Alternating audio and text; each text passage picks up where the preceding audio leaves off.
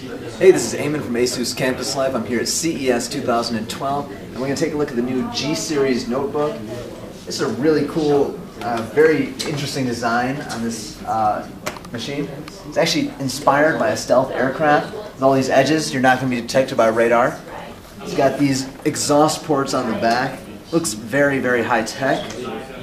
And in addition to that, it's got third generation core processors, Intel core processors, for high performance when you're gaming. This is really a great machine to take around if you're going to a LAN party on campus.